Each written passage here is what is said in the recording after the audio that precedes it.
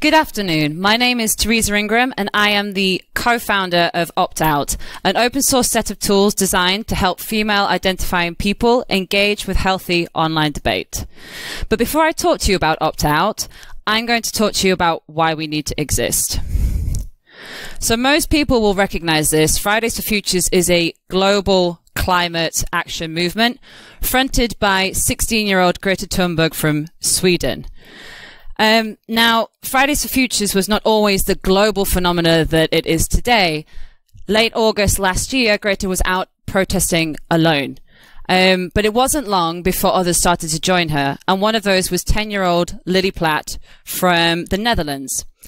Lily started to organize her own weekly protests, and it wasn't long before the two were protesting together. That's supposed to be a picture of the two of them protesting. Um, so as Greta's popularity blossomed and bloomed, the hate also boomed. And when Lily jumped in to Greta's defense, she received and was inundated with anti-Semitic slurs, um, racist threats, um, links to porn on her Instagram, and one troll attack that was so severe her whole family had to change their mobile phones. And these two are not the only ones. We have Havana Chapman Edmondson on the right hand side.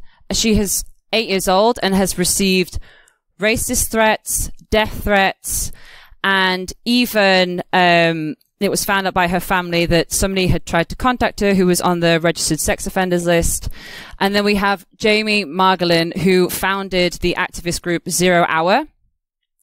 Now, the other girls have normally their parents to handle their social media um, stuff, but Jamie does it herself. And Jamie is uh, gay, Latina, and Jewish, and she's inundated with hate.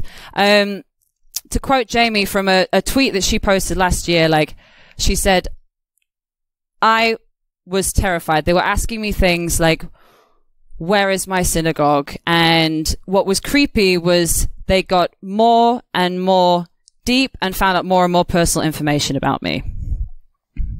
And so I decided to just do like a really brief search, trying to figure out um, what was going on with these girls and what was happening. And so I don't think the images are going to work, sadly. Never mind. Um, but really, these young women are being targeted online. So digital media has opened the door for new forms of oppression and violence against women. And when those women also happen to be human rights defenders, politically active, vocal or challenging the status quo, or commenting on areas that are seen to be male, this can be even more difficult. And so the UN recognizes that there's a problem, but even for us at Opt Out, this is not good enough. We say that all female identifying people are disproportionately suffering abuse online. And when they happen to be challenging the status quo, or if they happen to have an intersexual identity, be it trans, black, bodyweight, you name it, the abuse is yet more intense. Online misogyny is real and it's silencing the voices that society so desperately needs to hear. So what are the social media platforms doing about it? Well, to give you an example from the uh, British MP Jess Phillips, she reported a user who was threatening her with rape threats, and this was Twitter's response. So as you can see, not very useful. The user was not banned. They have been subsequently banned, um, but initially they weren't. Um, so let's have this larger conversation then. A failure to act means that some of our most vulnerable online are receiving rape and death threats. And as I've already explained with the example with Lily and her family, the boundary, the binary identification between online and offline is not as clear cut as it seems. So, if big tech are not willing to do anything about this, if they're going to act as neutral bodies, it's up to little tech to try and to do something about it. So, what are we doing? How are we going to do this? First step define and conquer. So, what is misogyny to opt out? Misogyny is not sexism. Somebody can like female identifying people, like women, but believe in the power structures that are in place to keep women in their places. So women belong in the kitchen, things like this. Um, we see um, misogyny as the law enforcement of the patriarchy. Um, it's also important for me to to tell you why we've chosen misogyny over sexism and also misogyny over online gender-based violence, which is the kind of more broader term which describes all forms of online violence that's gendered. Um, and that's because opt out currently is only working on comments and rhetoric, um, and it's not working on um, stopping all forms of online violence, such as doxing, which is the releasing of private details, or revenge porn, for example. Okay. So I'm just going to tell you about some of the ideas that we've been seeing being articulated in um, our data sets. Um, so people tend to either describe men or women as masculine, feminine, and there's no in betweens, and they have intrinsic characteristics because of their masculinity or femininity. Um, women are identified with their bodies and by their body parts. Um, dead naming of trans women, that's where somebody is referred to by a name they no longer identify with. Um, claiming that women can't do sport, that's a real favorite of mine, and refocusing the conversation to do with the male angle, agenda, or perspective. And I was playing around with the data sets and I ran some random forest scripts just to try and find some important features of the of the data and a really important characteristic of a misogynistic tweet is this. You can't make it up. So I sat down with our social scientists on the team and we went from these ideas to these groups. So we've got seven of them for now. Um, so insults, self-explanatory, um, something that is said just to um, devalue a person. Sexual harassment, harassment that is sexualized in some form, be it innuendo, a risque joke, something like this. A threat of violence, anything that has a violent physical dimension. Gender essentialism, so this is your men are from Mars, women are from Venus. Um, transmisogyny, um, I'm going to explain a little bit more about that with the example just later on. Um, objectification, treating somebody by their body parts and not as an individual, um, you know, like referring to them or discussing their worth just based on how they look, things like this. And derailing, which is something is probably a bit easier to explain with the example later on, but it's essentially just trying to change the theme of the conversation to something that the perpetrator feels more authoritative to talk about. So mansplaining, is a great example of derailing. Okay. So here are some examples.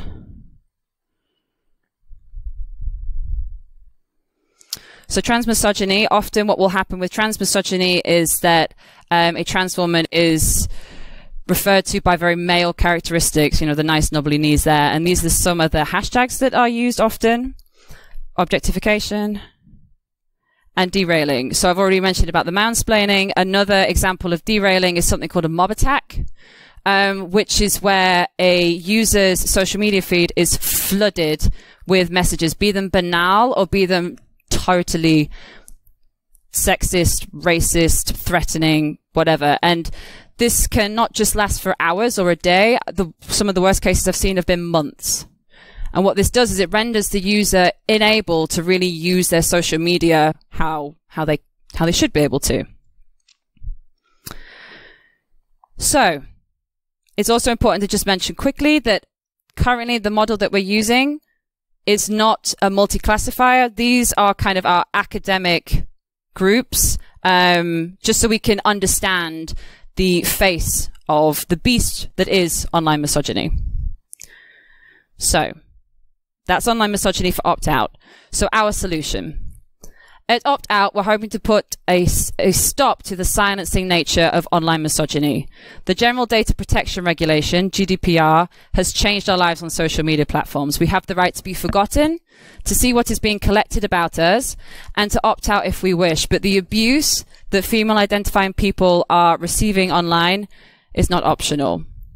We see opt out as an extension of the GDPR that also upholds the human rights of these individuals, allowing them to engage with respectful online debate once more. So we have an open source set of tools designed to help any female identifying person get back to the online spaces that they've been chased out from. And our main tool is our browser extension that works essentially like an ad blocker but filters out online misogyny instead of adverts. But we're also much more than that. We're holding workshops that are bringing together female identifying people to not only offer support, but to act in a form of protest that enough is enough. And by doing this, we not only provide a valuable resource for these people, but we also are able to identify needed technical infrastructure, ensuring that our tech is as community driven as it possibly can be. We also have a, a awesome website, um, which I'll get to in a second. And um, we are trying to develop our own antidote to Silicon Valley KPIs. So other um, KPIs that measure, measure participation, measure things like number of users or number of shares. What we're trying to do is to develop KPIs that measure things like diversity and inclusivity and health of online discussion. And finally, we're just being as loud and proud as we possibly can be. So this is our website. Our website is uh, inspired by um, Egyptian-based NGO Harassmap. Harassmap is a website where you can go and submit anonymously details of a physical incident of harassment that you've received, and it's mapped. It's put onto a virtual map. Um, opt out version, you can submit anonymous details of an online incident that you have received. And that data is then stored, studied, and feeds the models that our tools depend on. We're also showing transparently how our data is being, how the data is being used and usage statistics and our KPIs on the website. So we can try to show female identifying people how their submission is helping their online sisters and help to fuel the movement. Finally, in the long distance future, we hope to have a virtual harass map, which will enable female identifying people to navigate the murky waters of online uh, life as best they can. And finally, our browser extension. So our browser extension just works um, with a simple binary classifier sentiment analyzer sat on a server somewhere. What happens is, as the page loads, the tweets are sent to the backend. The model evaluates them, returns a score, and if it deems it misogynistic, they're removed. And if not, they stay. And if there's an image attached to the comment, then the image is also removed. Um, so simple, not too difficult. Um, well, the browser extension has also got a lot more coming. It, that's what it is currently, but there's a lot more to be added to it. So there is um, going to be automatic um, reporting of misogynistic tweets. Um, they will anything that is deemed misogynistic will be automatically sent to the moderators to be um, to be checked over. And also the browser extension and, and opt out in general is consent, not censorship focused. What's going to happen is that the browser extension will have its own local instance of the model that you can supply feedback to because we're not, we're not going to get it right each time and we're not going to get it right for everybody. Um, and so currently what we have is everything apart from the local instance model.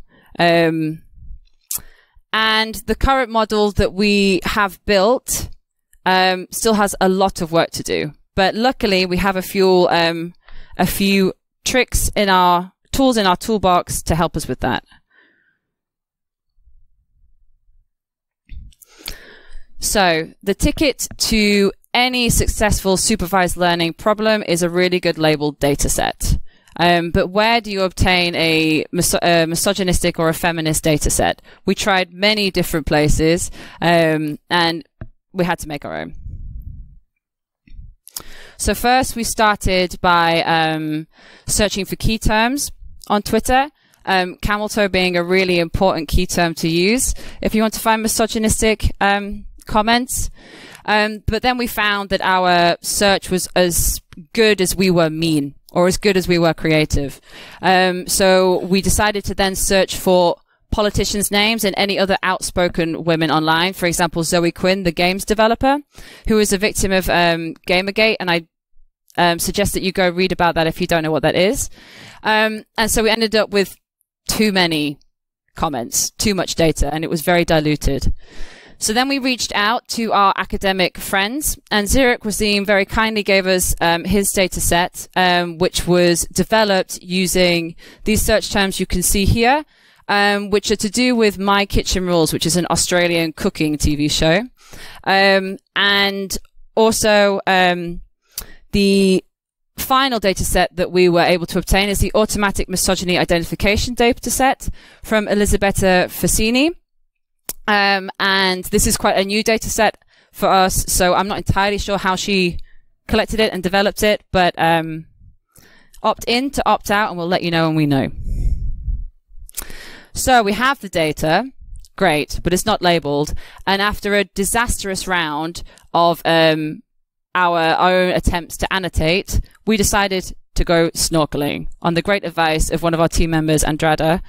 Um, I mean, our agreeability score was so low that I was wondering whether we should really continue the project at all.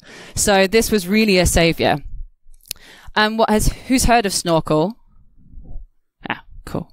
Um, so Snorkel is a framework for, um, multi-task weak supervision. Essentially what you do is write some labeling functions, um, which are then used to augment your data set. So you manually label some tweets, some comments, and then you write some rules. And these rules can take these forms, regex being the most popular. For example, these are some that we wrote.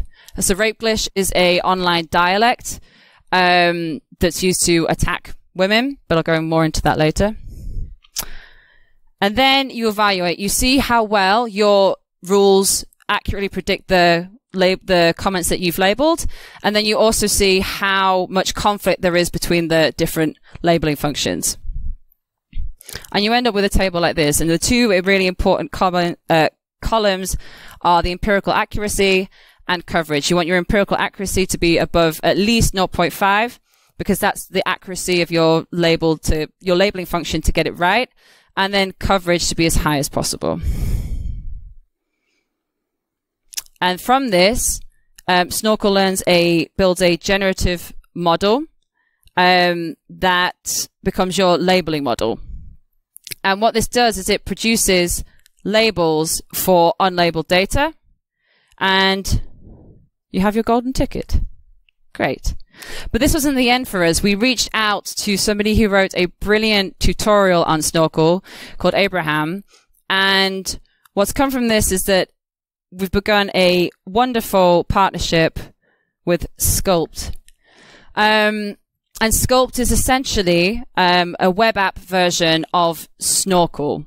And what this does is it allows our, it not only gets rid of the labeling bottleneck, but it allows our um, domain experts our social scientists to distill their knowledge directly into opt out. I'm no longer the middle person between the data scientists and the social scientists. They can sit there, understand what they're doing, understand the labeling, the label functions, and the impact um, of the different ones, and which ones fit and which ones don't. The best thing is, though, that it allows us to mess up. We can change our mind about misogyny. We can change our um, different categories, and it doesn't matter. Instead of taking weeks, maybe even months to relabel a data set, it takes days.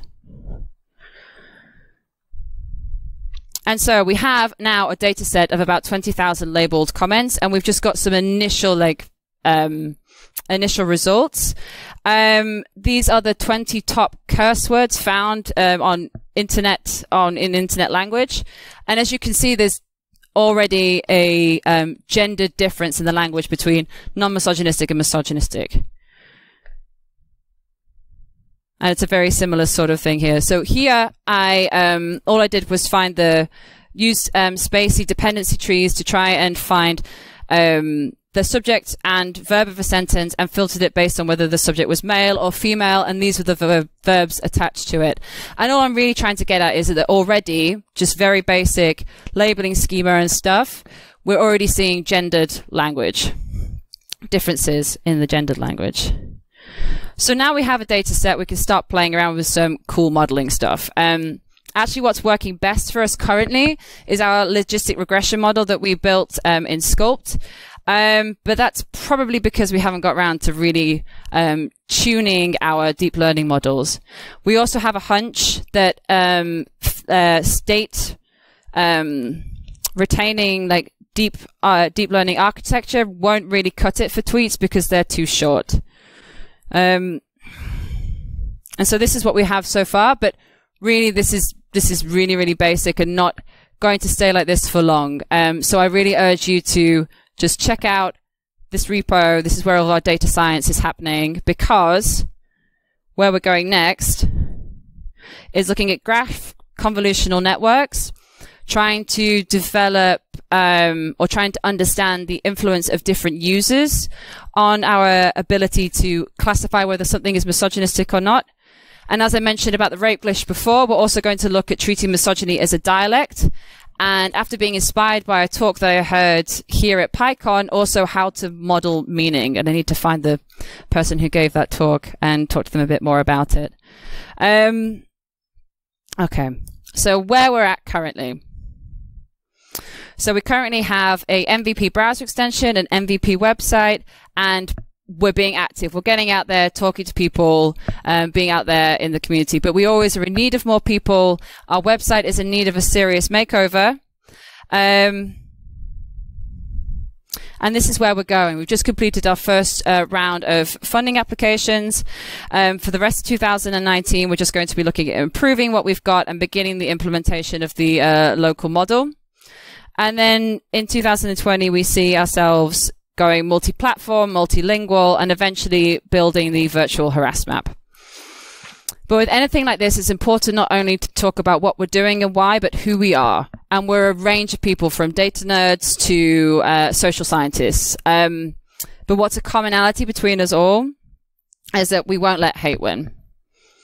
Our vision is we want to champion women back into the online world they've been chased out from, support them and their voices while still protecting them and holding the perpetrators accountable.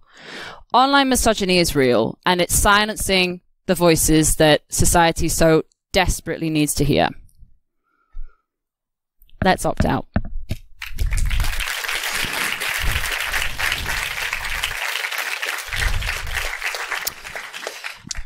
Um, well, thank you very much. That was a fascinating talk as well. Um, are there any questions from the audience that we can take? Or uh, sure.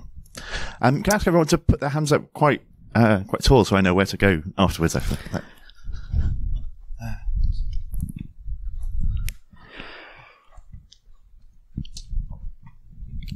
Hi. Uh, thank you for an excellent talk and an excellent initiative. I personally would like to thank you for uh, setting up Opt-out and looking out for other people in online. Uh, so I kind of have two doubts. I wouldn't say it as doubt. Maybe one of them is suggestion. So first doubt is that uh, when you say or the browser extensions that opt-out produced, does it only filter female identifying online misogyny or is it gender uh, unbiased? The way I see online abuses, internet is a harsh place and everyone will be a victim eventually. That's what I feel. So is it going to be only uh, redacting the female identifying uh, online misogyny or is it gender unbiased? And the second is kind of a suggestion. Uh, since you guys are basically redacting the online misogyny when the extension is uh, activated in browser extension, you can get the usernames and report it to the government or even to the tool like Twitter or Facebook so that they can ban the people. Uh, because at least the country where I'm from, we have online rules and stuff. So if you do comment some abusive stuff, you can get even arrested. Uh, so is it possible that you can create a tool where you can automatically uh, report them to the respective uh, organizations or governments to take action on them? Uh, so the first question, as I understood it, was: Are we just focusing on female identifying misogyny? Um, I think we're just focusing on misogyny. It doesn't really. I think it doesn't really matter who it's coming from. Misogyny is is is gender neutral almost. I mean, it's yeah. I mean, it, all it is is law enforcement of the patriarchy. So even if it's another woman saying, "Oh, you should be in the kitchen," that's misogyny. Um, and secondly, um, as far as I understood, again, um, is there going to be some way to automatically report people, hold them accountable? Yes, that's um, so that was supposed to be there in the MVP already. The problem is in every other country apart from Germany, that automatic reporting function is really easy to do. But in Germany for Twitter, it's a legal document. So that's taken a little bit longer, but that's because we can't, we don't just want to hide the problem. We want to hold people accountable for it. Um.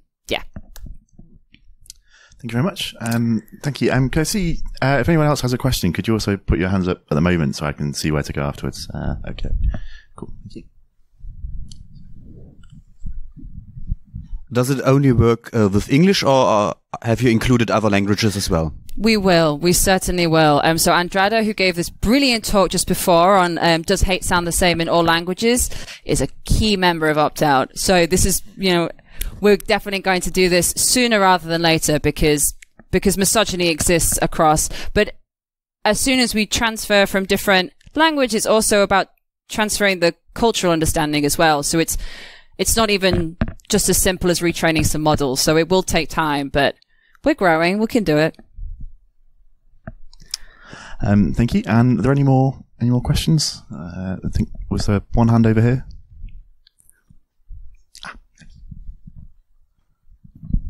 Um, hi, I just want to ask, uh, how big is your data set, and how how long have you been collected it?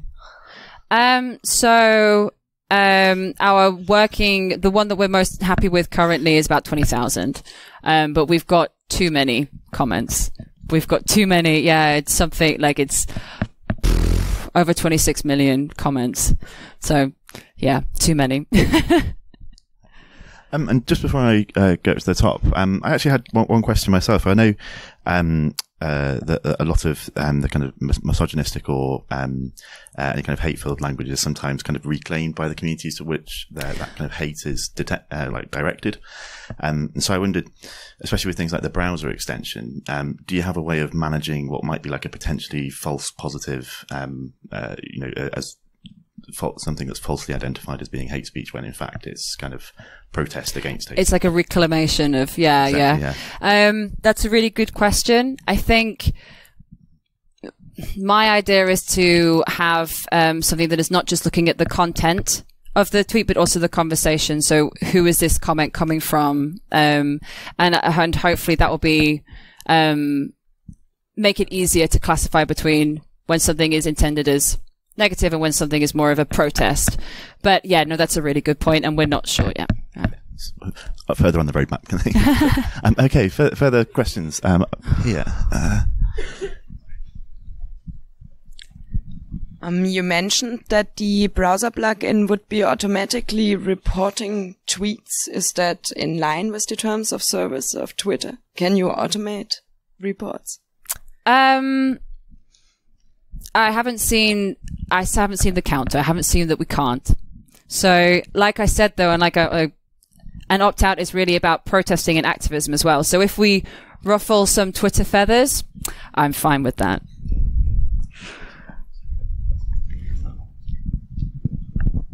Hi. Uh, I have a question because I moderated social media and I know that, but so for public figures, some things can be allowed. Yeah. Did you consider that? Because to protect f- female public figures could be difficult compared to protect just females, like regular women. Um, I think we'd have to look more. I, I wasn't aware, so no, we haven't. so yeah, we'll bear that in mind. Um, yeah. uh, okay. Um,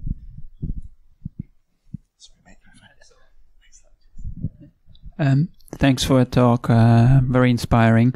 I have two questions. Uh, is it a business? You you mentioned your f- f- f- raised money. So if it is, uh, what's your model? Uh, and the second one is. Uh, um, so you have a definition of misogyny, with which I personally agree with, but uh, you know, how do you deal with going somewhere and people telling you, actually it's not misogyny. It's just how we do things here. It's part of our culture.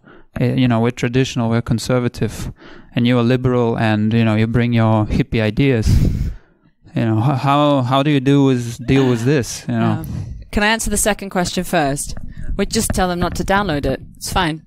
they don't need to use it. Um, and the first question, um, so we have ideas for turning this into a, into a business. We can um, sell an API subscription based um, for um, say like Tinder, for example. To when we eventually do things like um, you know, like removing dick pics and stuff like this. We can sell our services to dating apps. Also, another idea is selling an API to, um, you know, when you have like MSN chats with customer service representatives online, they get a lot of abuse as well. So, developing an API um, to help protect those people as well. Thanks. And uh, just one final question. Thank you. Um, my question goes away from online to offline to events like this one, and I wonder if you reflect about events like PyData or the general community of data science that the vast majority, well, I read as male, um, and still in this in this talk, I perceive the the room as um, much emptier than in most other talks. Uh, so I think I, I don't want to go as far as asking whether is misogyny also represented here. It certainly is. But if you try to develop, like, let me call them tools on a battlefield, um, how do you, or do you also work on encouraging those who are affected by by misogyny to like get on the boat and develop with you? No, is the question clear? Um, as as far as I understood it, um, how are we doing anything to help to help get rid of the misogyny within computing or tech on some level? Did I not understand? Um, yes, also. Um, the, no, I- just thought it may be uh, very hard in this community to actually just uh, find people who are affected Ah. to join you developing. Uh, you get, you could probably get a bunch of males to work with you on the tool, but that will not be the same. Yeah. So scarcity is in our favor, actually, because there are very few topics like this. And, you know, there are women in this community. So, you know, so they all come and they all come help. So.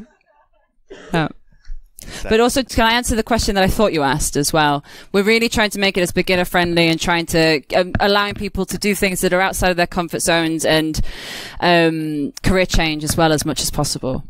So yeah, we're really trying to encourage um, as many first contributors, women, changing careers, all this stuff into our open source stuff as much as possible.